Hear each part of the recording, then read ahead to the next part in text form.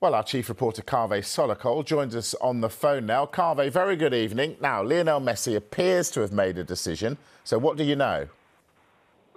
Yes, uh, Lionel Messi will be playing for Inter Miami uh, next season. He has made up his mind that that is where he's going to be moving to.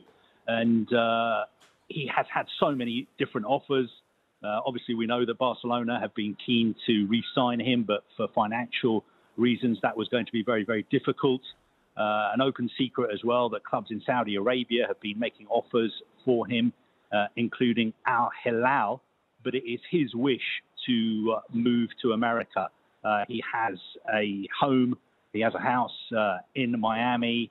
That's where he would like to move to at this point of his career. And just to put this into context, I think you could say that Lionel Messi will be the biggest name to play soccer, as they call it in America, uh, in America since probably, I'm showing my age, since people like Pele, since people like George Best. Of course, David Beckham himself uh, went to the US to play for uh, LA Galaxy. But Lionel Messi, a lot of people will say, is the greatest player of all time, right up there with Maradona and Pele. Uh, so an incredible coup for Inter Miami, who only a couple of weeks ago uh, dismissed their manager, Phil Neville. They've been struggling in the MLS. Uh, they're bottom of their conference at the moment.